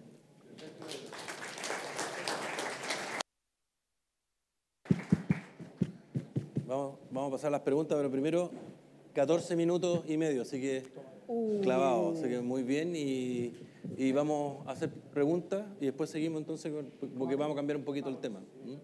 Sí, sí. ¿Te prendió el micrófono? No? Sí, sí, sí. Pedro, te hago una consulta, porque hablabas de, esta creación de marca y, hemos estado hablando muy en un, en un, marco estructural bastante macro, o sea, bastante, bastante amplio. Eh, siendo partícipe de, de, la hospitalidad, del turismo, justamente en Mendoza en este caso, ¿cómo trabajan o cómo han trabajado el tema de la capacitación del guía, que es finalmente es el que termina siendo ejecutando, o el guía o el enólogo que da la visita? ¿Cómo hay un coaching, ayudan en algo? ¿Eso se encarga cada una de las bodegas individualmente? Bueno, eso ya es una cosa particular de cada Yo la verdad que estoy la parte un poco más de coordinación de todo, no llego, no llego tanto. Te lo tendría que responder más cada bodega concretamente. Lo que sí que es importante es que exista esa, esa formación. Realmente ahora está empezando a ponerse de moda en España, que hasta hace poco no lo había, los máster y cursos de eh, formación enoturística, porque no había apenas profesional, al final el profesional enoturístico se iba haciendo a base principalmente de la práctica. Tú llevabas la bodega de no sé cuántos años, estabas tal y de pronto, oye, que ahora vas a ser el responsable de enoturismo. El que habla bien, pues tú los vas a guiar y, al final se va a ido formando, la gente se ha ido preocupando y lo formando. Poco a poco se han ido creando profesionales de verdad del enoturismo, pero ya te digo que venían mucho de eso, de, de su experiencia, a través de experiencia, y luego van contratando gente y desde la propia bodega se va transmitiendo esa experiencia día a día. Ya luego si tienen qué tipo de formaciones tienen o no, ya dependerá de cada bodega. Lo que sí que ahora se está empezando a ver esa necesidad de tener estudios reglados y una formación reglada eh, sobre esto. Y yo me consta que hay sitios como el Instituto de Empresa o el Masculinary Center que está creando máster específicos para, para, este tipo de profesionales. Pero bueno, hasta ahora yo creo que principalmente la formación está siendo in-house. Gracias, Pedro. Muy bien. ¿Alguna otra pregunta? por aquí creo que hay una. Oye. O también. Muy interesante. Yo no sé si tú eres de Mendoza, ¿no? Sí. ¿En Mendoza existe alguna carrera o...? No. Uh -huh. Ya. Se está, se está empezando a hacer. ¿eh? Sí. Uh -huh. yeah. Ahora se está viendo la necesidad de eso, de profesionalizar y hasta hace cuatro o cinco años realmente no había formación reglada sobre eso, sino que era más en, la, que en cada propia casa se, se, iba dando las pautas y ahora sí que se, se, se, está poniendo de moda y se está empezando a hacer. Pero es un, es un tema a trabajar, bueno, nosotros vamos a plantear también algo, eh, porque finalmente el, la persona o la, el guía te, puede, te cambia toda la experiencia, o sea, puede que el vino sea muy rico o malo, pero la persona finalmente te, te cambia toda la experiencia y y algo que yo creo, por lo menos en Chile también, nosotros ahí tenemos un proyecto de, de no turismo Chile y es algo que hay que mejorar definitivamente. Y alguien decía en la mañana también que en el fondo eh, que haya gente de turismo realmente, porque son gente es preparada, tiene la vocación. Y lo que ha pasado con la industria, con las viñas, nosotros, es que gente que eh, son muy buenas en las viñas y claro, y tienen ciertas cualidades y lo hacen muy bien y, y, y, trabajan en la parte turística, pero no están especializados. Entonces, nosotros tenemos un desafío de capacitar a esas personas, pero también captar gente que venga del turismo, que eso es lo que realmente saben. Así que, ¿cómo? No, hay que, hay que... ¿Había una pregunta? ¿Pero dónde está? Bueno, creo que tenía allí. Hola, buenos días. Buenas tardes ya.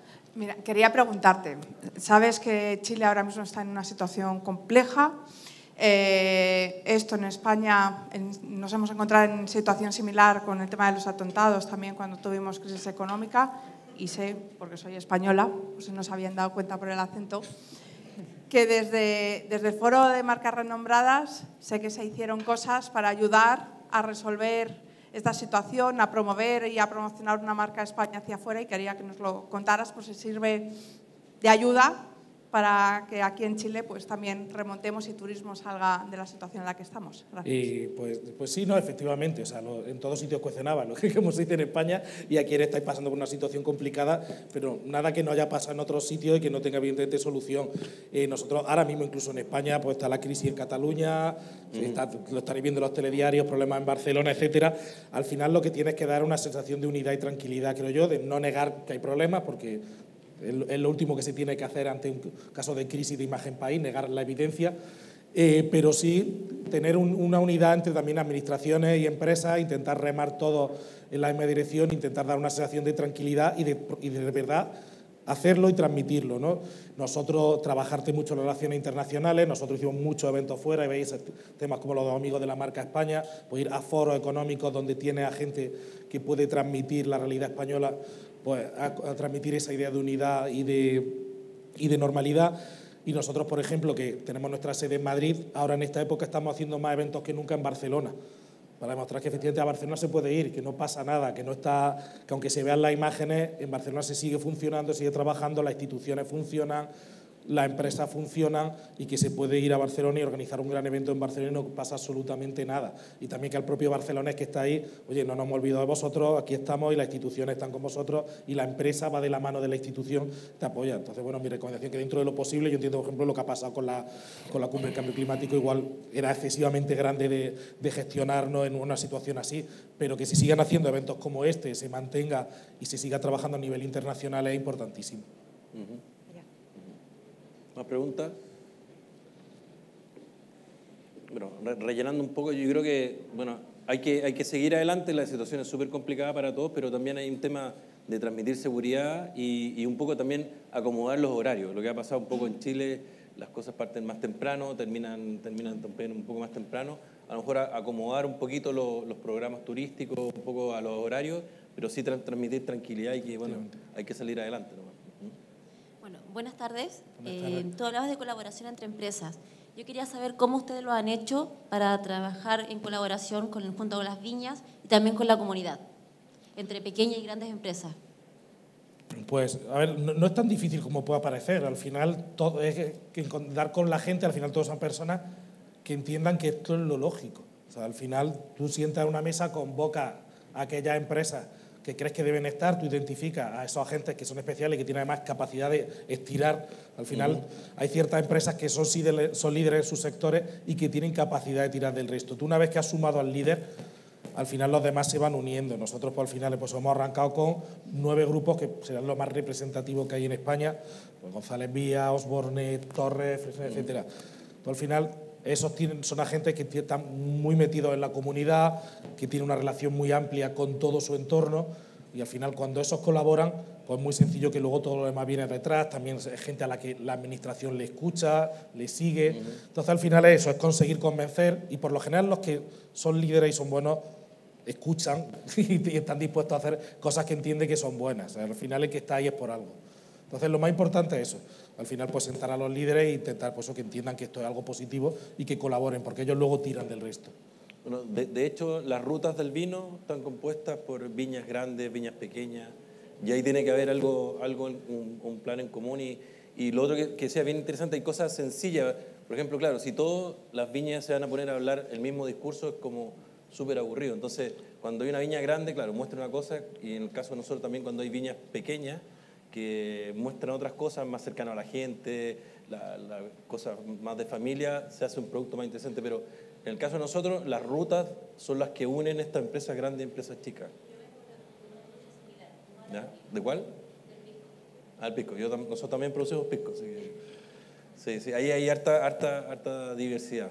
Claro, no, y, y, apuntaba una cosa que tiene razón, empiezas por algo sencillo, o sea, no tienes que de primera ya montar de pronto la leche, empiezas sí. con pequeñas colaboraciones oye, vamos a hacer un acto de promoción y lo vamos a organizar conjunto y cada uno invitamos. Yéndome a otro, sector totalmente diferente, otro proyecto que, que, lidero es con empresas más del sector de la construcción. Tan marcas como Roca, Cosentino, bueno, grandes gigantes también. Organizamos un montón de... Empezamos con cosas súper sencillas organizar grandes eventos muy chulos en los que se invita a la prescripción. Dice, oye, tú vas a invitar a tus 10 mejores clientes, yo a mis 10 mejores clientes, tú a tus 10 mejores clientes.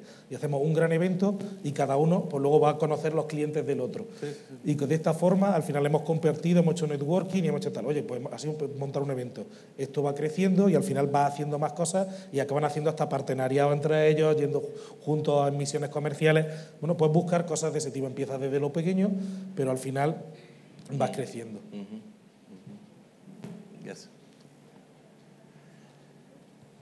Hola, buenas tardes. Hola. Solo un alcance.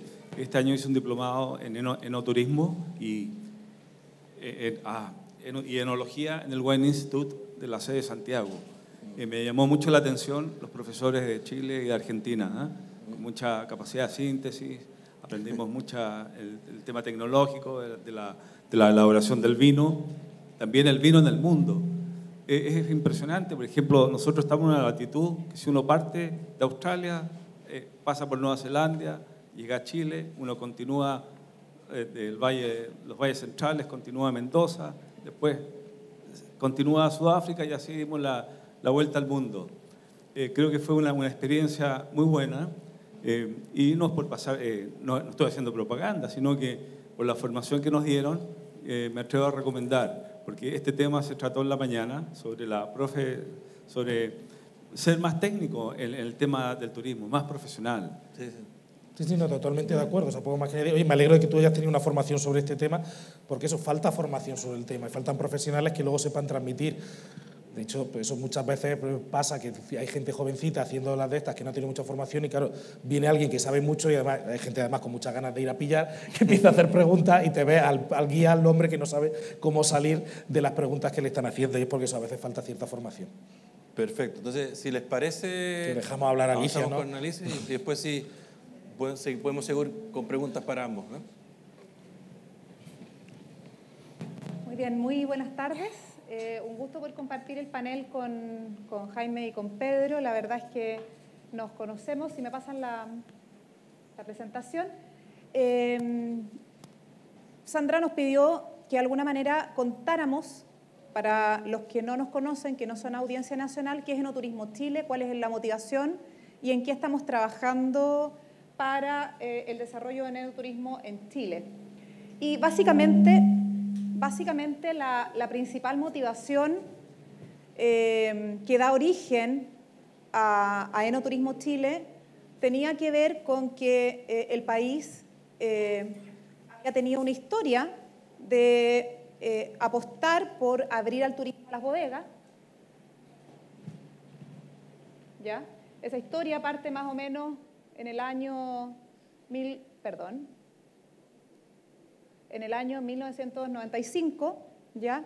En, justamente en este territorio, en Colchagua, en donde un grupo de viñas conoció la experiencia en Napa, en Napa Valley, dieron cuenta de qué fantástico, esta gente los va a visitar, además compran vino en la casa, etcétera, y por qué nosotros no nos inclinamos un poco a hacer esto. Y ahí surge la primera ruta del vino de Chile y en coincidencia con otras decisiones también de importantes inversores acá en la zona, se abre el Museo Colchagua, ¿no es cierto?, de, la Fundación Cardún, y así fueron ocurriendo hechos eh, importantes, pero las asociaciones y las rutas del vino eran organizaciones de viñateros. ¿ya?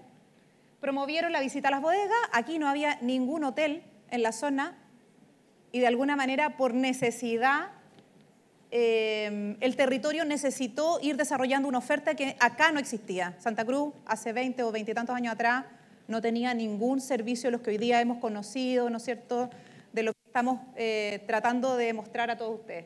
Y así el modelo se fue replicando, fue existiendo una cooperación natural sin estar escrita en una organización y se fue dando esta sinergia, pero en el camino, ¿no? Y así como ocurrió acá en Colchagua, luego se fueron creando ya en los inicios de los 2000 otras asociaciones copiando un poco esta, esta evidencia y terminamos después a las alturas del, año 2013, 2014, con que teníamos un reconocimiento de que esta actividad turística o esta experiencia de visitar bodegas estaba siendo cada vez más importante para Chile y para los territorios vitivinícolas. Y detrás de esto se generó una serie de inversiones y desarrollo de otros actores del, territorio y oportunidades, por supuesto, de mejorar calidad de vida de las personas, empleo, una serie de índices. Entonces se reconoce, más o menos en este periodo, que estábamos en un tipo de turismo diferente, no el tradicional, no el de, eh, las zonas más eh, conocidas de Chile o que mayoritariamente se eh, promocionaban hacia afuera, hacia los mercados de interés, y de alguna manera se, hace un corte y se hace un, un estudio profundo y se obtienen ciertos datos que daban cuenta de la potencia y de todo el espacio de desarrollo que todavía había para ir consolidando y dando oportunidad a otros territorios de ir consolidando y profesionalizando la oferta. Y ahí nace, con el apoyo de Corfo, que eh, todo este proceso ha sido eh, en todos estos años apoyado por, el Estado a través de Corfo y otras instituciones eh, en un sistema de colaboración público-privada, pero de carácter más territorial. Es decir, la ruta del vino Curicó también recibió financiamiento de Corfo, Colchagua, Maipo en su momento, Casablanca, etc. Todos los valles vitivinícolas de Chile tuvieron este apoyo, pero cada uno trabajaba eh, de manera independiente, más territorial y de acuerdo a su realidad. ¿Cuál fue el punto de inflexión? Que aquí las dos industrias se necesitaban, ya que es un poco lo que se conversó en la mañana, ¿no es cierto? Hay que entender que el enoturismo son experiencias, ¿no es cierto? Que ojalá eh, la profesionalización aquí es clave y hay que entender que cuando hablamos de experiencia necesitamos a las personas que saben, en el fondo, y se han especializado en turismo. O si no los puedes contratar, bueno, especialízate, profesionalízate, entiende que puedes ser un excelente productor de vinos, puedes tener unas regias bodegas, pero las personas hacen uso de su tiempo libre y quieren aprender y entretenerse, ¿ya? Y muchas veces eh, nos enfocamos en procesos más tecnológicos, más especializados, y hay muchas personas que en, en ese espacio se pierden, ¿ya? Entonces, en este punto de inflexión nace Turismo Chile con el compromiso de eh, articular y fusionar estas dos industrias, armar un plan de largo plazo, sólido, pero juntos. Y, por supuesto, que la primera definición es que era un proyecto de largo plazo. Nadie iba a estar dispuesto a trabajar en algo que durara un par de años y nadie, eh, en el fondo, iba a invertir su tiempo en algo que no se proyectara en el tiempo y que aportara la imagen de Chile. Hoy día lo conocimos en la mañana. Eh, el vino para Chile es un embajador de la marca Chile, nos posiciona, nos valora, es el producto con el que nos reconocen eh, como país también eh, todos los turistas internacionales que se consultan y se entrevistan en el aeropuerto. Por, lo tanto, era súper necesario fusionar el trabajo en este foco de largo plazo. Estuvimos todo un proceso de preparación y el 2008 partimos con una eh, implementación de esta hoja de ruta que fue consensuada. Nos costó dos años ponernos de acuerdo. Ya todos sabemos que esto no es fácil. No es que nos miremos, nos pongamos de acuerdo, nos cerremos el ojo y punto. No. Aquí había que ponerse de acuerdo en varias definiciones y una de las primeras definiciones, perdón, la voy a decir un poco más adelante, eh, una de las primeras definiciones era entender qué se entendía por turismo del vino o no turismo. Algunos era la degustación, la cata, la especialización, no, otros solo turismo. Bueno, finalmente ya vamos a llegar a ese slide, nos pusimos de acuerdo. Y dijimos, perfecto, tenemos que tratar de entender que esto no puede ser repetido. La historia no puede ser la misma que contemos todos. Tenemos que diversificar, tenemos una gran diferenciación de territorios, de historias en el país, por lo tanto, eso es un desafío importante. Luego, capital humano no se ve mucho, pero efectivamente se repitió. Creemos que estamos en el camino correcto, de acuerdo a las sugerencias y los comentarios de la mañana. Capital humano, promoción, aquí comercialización, inteligencia de mercado, acá sale lo que todo el mundo ha dicho, lo que no se mide no existe, tenemos que eh, saber quiénes nos visitan, por qué quieren conocernos, etcétera. Y evidentemente no podemos estar de, de cara o de espalda a la tecnología. Esa es la tendencia, llegó para quedarse y si no estamos presentes, ¿no es cierto?, en estas plataformas y en el teléfono, de verdad que mejor cerremos el boliche y no hagamos nada más. Luego, sustentabilidad. Se habló ayer en la masterclass, no sé quiénes pudieron participar de la masterclass, pero efectivamente la industria del vino en Chile tiene una peculiaridad y es que tiene un sello, en el fondo, de sustentabilidad que nos distingue y también ese era el tema. Y lo más importante de todo es conocernos y el trabajo asociativo y colaborativo. Después de todo esto, son nuestros socios, está todo el sector público, están todas eh, las rutas del vino organizadas del país y por supuesto están las organizaciones de carácter nacional, territorial y nacional, del vino y el turismo. Y esta fue la invitación. Y todos ellos creyeron en este proyecto de largo plazo y además tenemos presente a la academia, Marca Chile, etcétera. ¿Y qué entendíamos por enoturismo? Llegamos a esta definición súper académica también, pero entender que en enoturismo estamos todos, ¿ya? Y es un conjunto de actividades económicas, es decir, que generan ingresos, pero son de naturaleza turística, ¿ya? Son actividades de turismo, estamos ocupando el tiempo libre de las personas y en determinado territorio y relacionados con la cultura del vino, es decir, podemos hacer lo que se nos ocurra en esta definición, pero entender que estamos hablando de experiencia.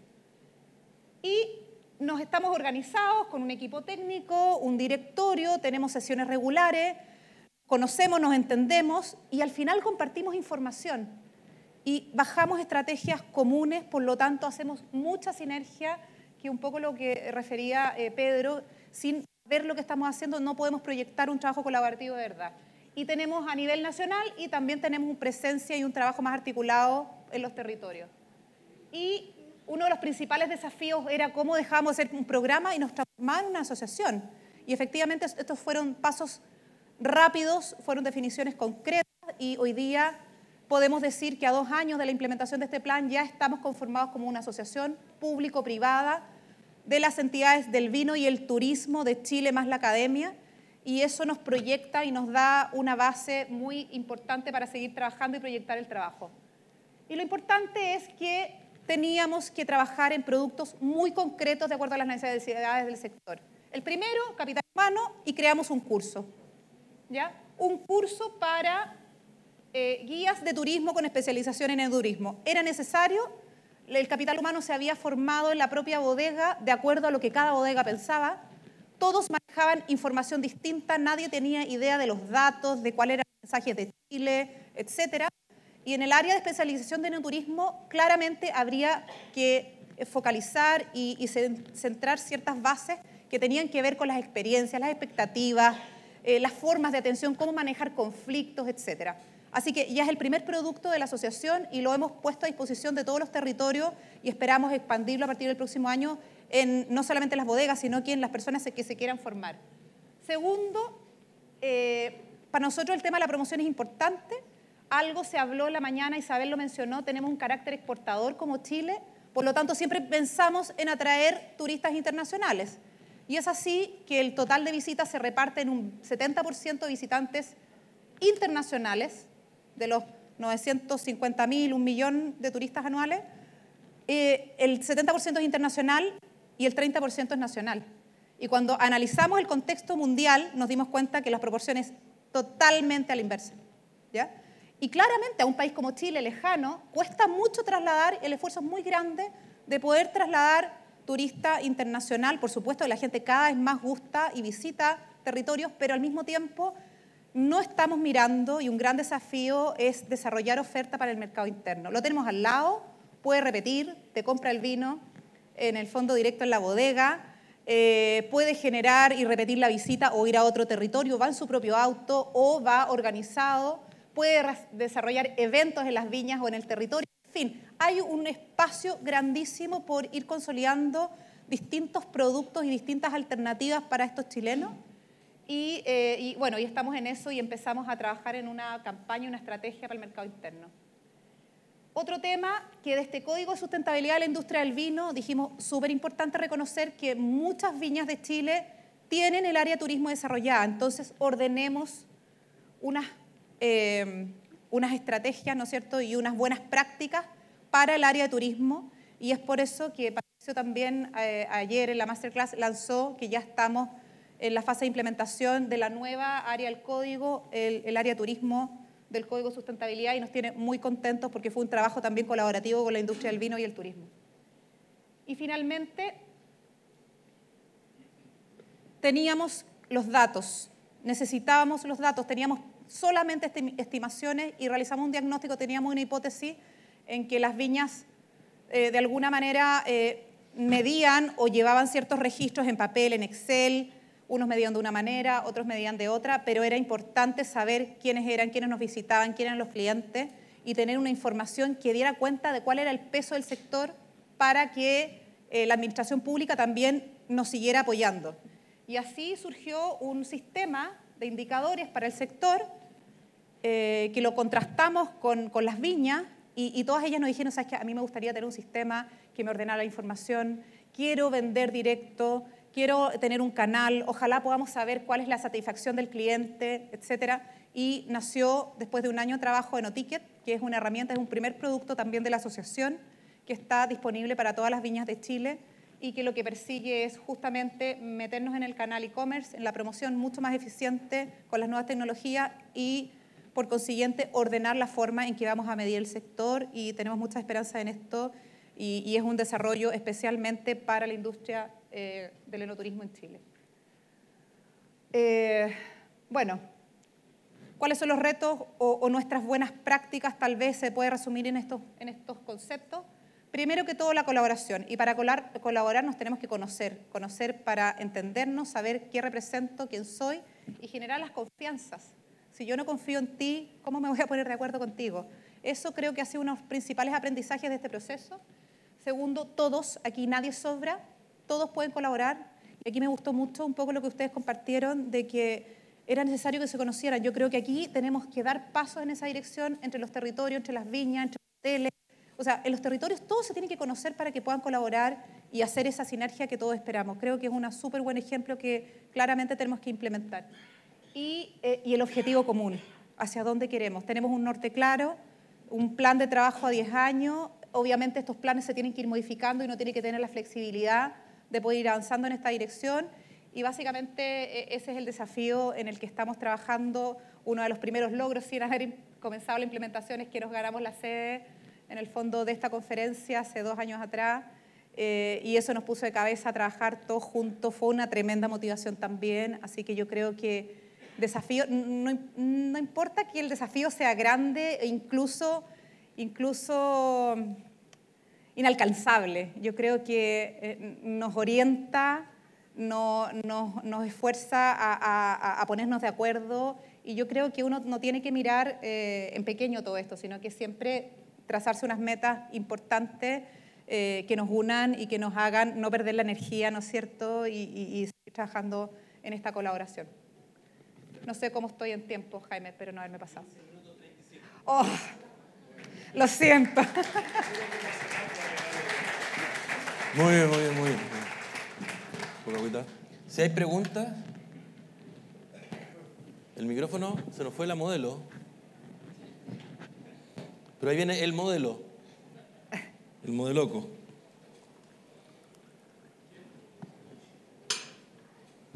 Hola, hola. Eh, sí, buenas tardes. Alicia, una pregunta. Eh, pusiste el ejemplo de Napa, del Valle de Napa, en California que es un ejemplo que a mí me encanta porque en el momento que uno llega, eh, bueno, Napa está muy bien organizado, muy fácil recorrerlo, tienes una vía tremenda con muchas viñas, viñas que da una vuelta con un pueblito en la entrada. Y algo que hacen muy bien ellos es que tienen un centro de información turística hermoso, o sea, gigante, con una maqueta más grande que el escenario de todo el, de todo el valle con, con sus viñas, con la topografía. Además tienen eh, gente muy preparada, voluntarios, que trabajan ahí para ayudar a la gente a guiarte. Eh, y eso yo creo que es algo que a nosotros nos falta mucho. Eh, yo creo que, entiendo, se ha trabajado mucho y se ha avanzado mucho en los últimos años, sobre todo en Colchagua, con las viñas en sí, con eh, hacer esta eh, sinergia de trabajo, pero yo creo que un, algo que nos falta mucho y que, nos, que es un debe es este, este, lugar de información turística para hacer la experiencia de la ruta del vino más amigable. No sé qué han pensado ustedes y cómo lo, lo ven. A ver, em, sí, estoy súper de acuerdo. De hecho, em, esto, la ruta del vino Colchagua surge a partir de un viaje de unos viñateros de acá que fueron a conocer eh, efectivamente lo que ocurría en Napa y pensando en que aquí en Colchagua podía ocurrir algo parecido, porque el, valle era como bien, bien eh, similar en términos de que había una ruta, un eje estructurante, viñas alrededor, etcétera. Fueron con esa motivación y decidieron emprender eh, ese, ese, desafío un poco pensando en que esa era su visión tal vez o lo más cercano que podía ser a lo que podía, se podía llegar a implementar acá. Em, yo creo que estoy totalmente de acuerdo contigo en el sentido que se necesita, siempre es importante o dar un impulso, un espacio más interpretativo o más de orientación para redistribuir. Em, también tiene que ver con, con, quién puede llegar a liderar un proyecto así y puede que todavía no haya sido el momento o sea un tema, pero falta ver quién colabora en eso, porque muchas veces eh, creo que esos espacios tienen que ser... Em, con el ente de promoción, ¿no es cierto? Tal vez con, el ayuntamiento de la municipalidad en este caso y las empresas. Eh, y yo creo que sí es una necesidad, no solamente en este valle, sino que en, otras partes de Chile. Tal vez Santiago debiera tener, por supuesto, como ente aglutinador de los flujos, un espacio de estas características, pero creo que hay eh, algunas bodegas que han eh, avanzado de manera independiente en eso, pero sí creo que es un proyecto que la llevaría mucho no solamente Sí. a Chile, a Colchagua, sino que a todo Yo creo que algo, algo pendiente, que uno llega a alguna parte y claro, ¿dónde voy? Y pregunto todo y que me... Pero, pero volvemos al tema un poco de la... que aquí hay un problema de financiamiento al final. Digo, con suerte, nosotros podemos financiar la oficina de la ruta del Curicó, entonces llegar a algo como lo que tú planteas que nos gustaría, que a lo mejor podemos, agregarlo como proyecto, eh, claro, necesitamos, necesitamos eh, ayuda.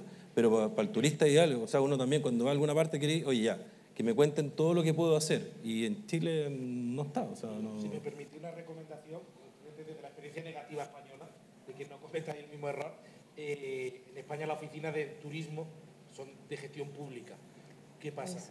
Al ser la gestión pública, no recomiendan nunca nada. Es decir, todo es bueno.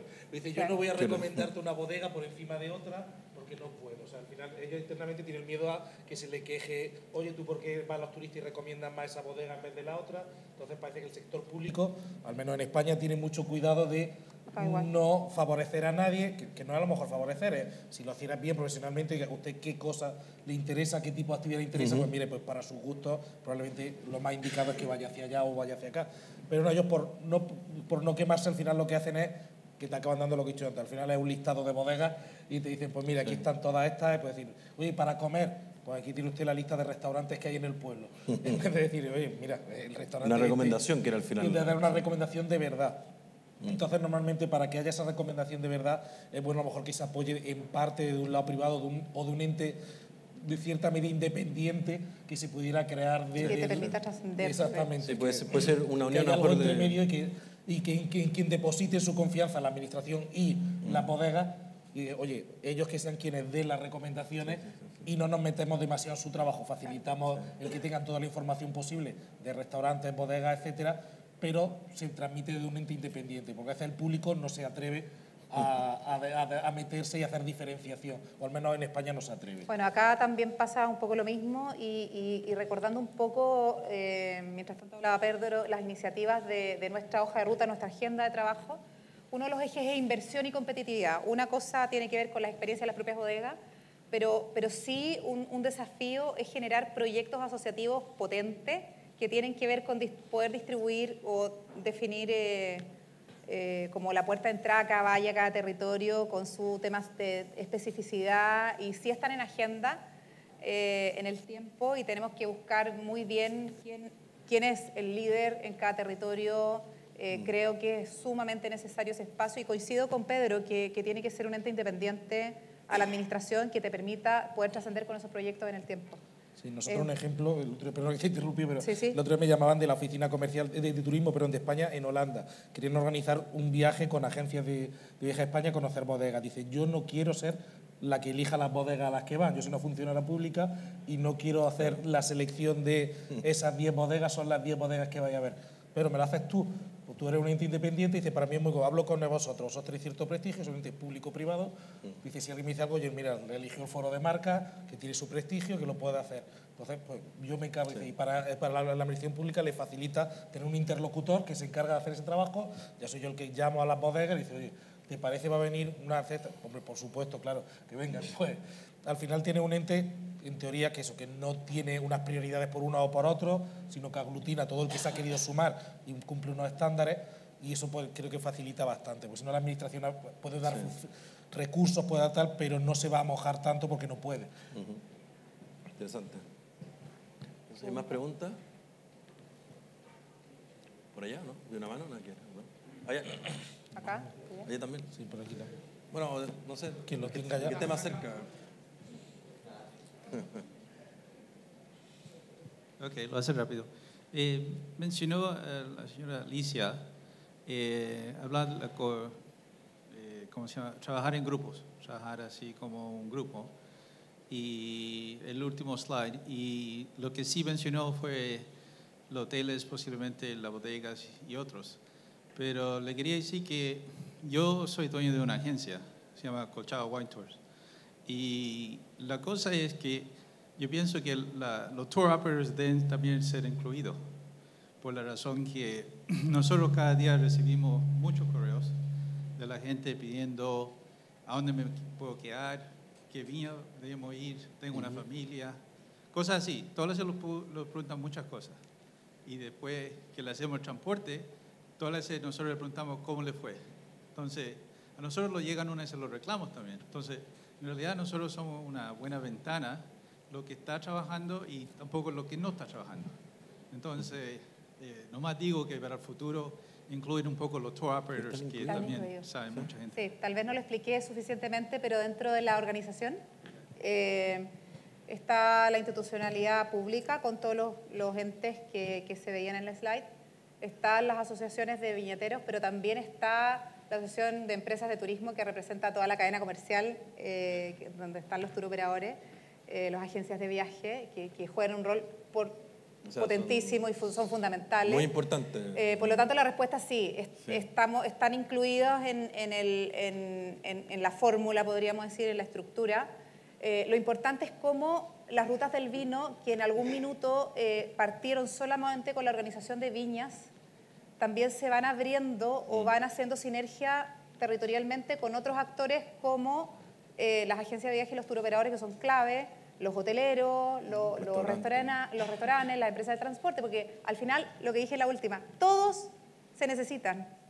Ya, lo importante es tener objetivos comunes y trazar un rumbo y, eh, y, sumarse de verdad. No esperemos que el otro haga lo que a ti te gustaría que ocurriera, que es un poco lo, que señaló Pedro también. Pero la respuesta sí, están incluidos eh, y tenemos eh, algunas de, las, de los productos que mencioné como eh, principales, eh, digamos, eh, productos, bien digo, de, la asociación, estamos, están incluidos también como beneficiarios de las especializaciones, del mm. sistema no ticket que dije. Lo podemos conversar enseguida más, más en ¿Hay, ¿Hay alguna asociación de como tour operadores o no? ¿O agencias de viaje? ¿No hay una asociación? H, nacional. Como grande. sí lo que pasa es que eso es importante porque, claro, al final esto, eh, como nosotros como ruta nos metimos y somos parte formal. Entonces, eh, y, esa es la forma de, estar presente en este grupo. Entonces, si hubiera alguna asociación también o agrupación de, de tour operadores o cosas, también sería bueno, están todos invitados, todos toda la, cadena invitados. Allá habían preguntas también por allá atrás. Allá, sí. Ah, ya. bueno, ya.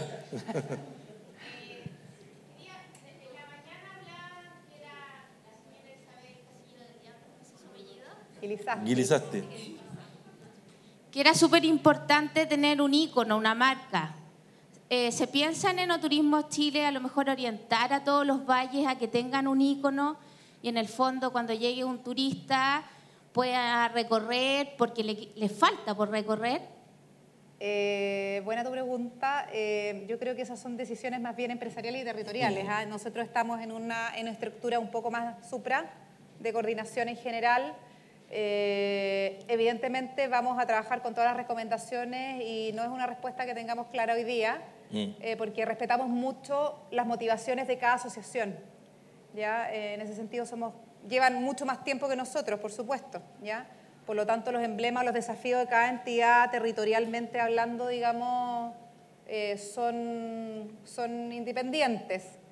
Eh, pero, pero tal vez eh, la bajada es cómo, cuál es la invitación, cuál es el concepto, ¿no es cierto?, que hay atrás de cada territorio, qué, qué es la singularidad. A nosotros nos encantaría que un Claro, el elemento diferenciador que me permita recorrer a lo largo del país los distintos valles y que no sea repetitivo en el fondo cada bodega. Exactamente, mira, uno de los desafíos para nosotros es la diferenciación aprovechar esa gran, gran diversidad territorial, cultural que hay Así como en el norte el desierto, las estrellas y el vino, podría ser una línea súper importante porque hay un posicionamiento de ese territorio, tal vez en el sur, eh, que son productores de una escala mucho más familiar, más campesina, un tema histórico, y en el centro será, no tengo idea, la tecnología, la conectividad, la costa. En fin, yo creo que cada territorio tiene un gran desafío de vincularse y buscar su especialización eh, y ese es el llamado al que estamos haciendo. Nos encantaría que cada turista que visita Chile ojalá se repita y uno de los principales desafíos es que es que cada chileno y cada turista internacional que visite Chile eh, no se vaya de Chile sin haber recorrido una y conocer todas las, todos los valles vitivinícolas y toda la oferta que existe. Ese es nuestro desafío de largo plazo. Así que gracias por la pregunta. Sí. ¿Una más? Hay varios. ¿Acá? ¿Quién? Hay muchas No preguntas. sé, hay, muchas preguntas y pónganse de acuerdo. Este por es el mejor una más. taller, es el mejor taller. Hay muchas preguntas. Cecilia. Hola, gracias. Yo vivo en Italia, eh, tengo la experiencia de trabajar en enoturismo. Me interesa mucho cuál va a ser la imagen de Chile para la promoción y la oferta de paquetes o eh, iniciativas vinculadas al mundo de la, del enoturismo. Estando en Europa, ¿Cómo me gustaría saber si va a haber alguna iniciativa específica para la promoción de Chile o también de Argentina, ¿por qué no? Pero, supuesto. por ejemplo, eso es súper importante. producto, ¿no? Eso. Sí, mira, eh, a ver, eh, yo no soy la, la- la- la persona más, eh, eh, digamos, idónea tal vez para decírtelo, pero sí estaba, estaba Cernatura en la mañana, estaba la subsecretaría. Hay una estrategia eh, de marketing para, para Chile las experiencias, y son cinco las experiencias priorizadas para el país. Una de ellas es enoturismo. Eh, y efectivamente el llamado es a la diversidad, a las experiencias entretenidas, memorables, y por lo tanto el desafío para los territorios y la oferta es justamente recoger todo lo que hemos hablado esta mañana, lo que nos han recomendado los especialistas y revisar directamente si estamos en línea con esa, con esa definición y con ese concepto. Y al menos desde No Turismo Chile lo que estamos haciendo es aportando con el contenido, ¿ya?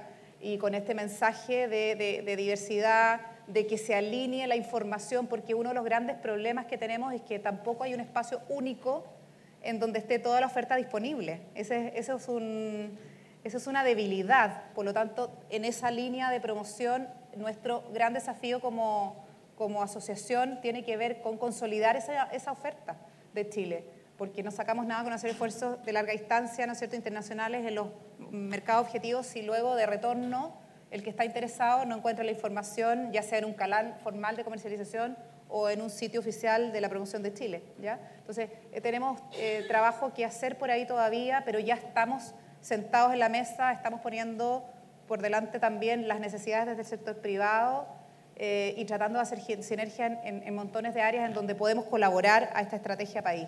¿Ya? Eh, por hoy no te puedo decir qué va a pasar hoy día, porque probablemente a la situación tenemos que revisar un poco cómo recomponer la imagen país. Eh, y detrás claramente están estas experiencias y toda la oferta que está consolidada en un mismo lugar y, y yo creo que ahí tenemos un tremendo espacio de colaboración de todos los valles y todos los territorios. Acá eh, otra pregunta, eh, Juan López de DuoQC para Alicia. La verdad es que primero felicitar el programa, felicitar lo que Alicia ha venido haciendo. Creo que no había visto con tanto detalle la presentación de, de lo que están haciendo. Eh, creo que se han sacado productos súper concretos, así que la verdad es que creo que es un avance a lo que existía hace un par de años atrás en, en enoturismo. Y la pregunta concreta, Alicia, es, eh, hemos hablado en la mañana de que efectivamente lo que no se mide no existe. Ya lo mencionamos también anteriormente acá. Tú mencionaste que hoy día se estimaban alrededor de 900.000 turistas. ¿ya? Eh, tenemos, ¿Me puedes contar un poco cómo se determinó ese número? Eh, ¿Qué modelo hay Sí. detrás? Y, la- y lo más importante, si tenemos pesado, ¿cuánto es lo que gastan? ¿Cuánto es lo que pesan?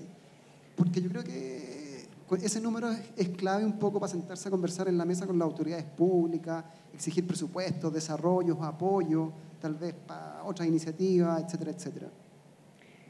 Eh, te agradezco la pregunta, Juan. Eh, efectivamente, nos ha costado mucho levantar los datos del sector. ¿ya? Eh, lo que ha hecho Chile, no existe un observatorio del sector, que es lo que estamos intentando suplir desde este producto que comenté de NoTicket, eh, que es uno de los primeros llamados y desafíos que nos propusimos en esta agenda de largo plazo. Eh, sí, ¿cómo fuimos configurando el número? A través de estudios en algunos momentos determinados que nos permitió trazar una trayectoria, ¿no es cierto?, y una evolución y que nos da cuenta más o menos que la evolución promedio de la visita fue más o menos de un 21% en los últimos 10 años, ¿ya? Siempre creciente. Eh, con mucha satisfacción tengo que decir, voy a clasificar información ahora, eh, versión 2016-2017, que era cuando nos estábamos formando, teníamos aproximadamente un 9% de crecimiento, ¿ya? De interanual. Y, los últimos datos eh, es que de 2017-2018, que ya estábamos con programa, crecimos un 30%. ¿ya? Y esto cómo se mide en términos globales, eh, hay una encuesta que se hace a todos los que salen del aeropuerto, eh, entonces se, se, cruza número de visitas con su preferencia y con su experiencia en Chile y se hace un cruce bastante simple pero bastante certero y, y, la pregunta que se hace qué actividades hiciste en Chile y, cuál fue tu motivación. Eh, por lo tanto, ahí estamos cruzando eh, datos globales y nos da cuenta de que subimos de un 9 a un 30% eh, los resultados de 2017 y los resultados de 2018, a pesar de que bajamos en cantidad de turistas. Lo que llevábamos proyectado en este año era un 19%. Mm.